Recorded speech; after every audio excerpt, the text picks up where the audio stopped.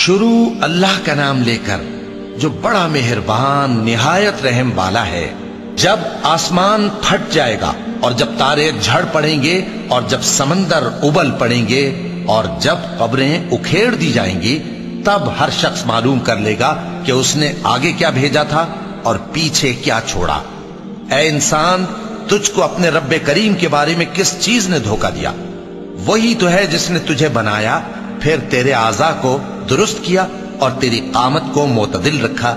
जिस सूरत में चाहा तुझे जोड़ दिया। मगर अफसोस, तुम लोग जजा को झुटलाते हो। हालाँकि तुम पर निगहबान मुकर्र हैं, यानी मुअज्जज कातिबीन। जो कुछ तुम करते हो, वो उसे जानते हैं।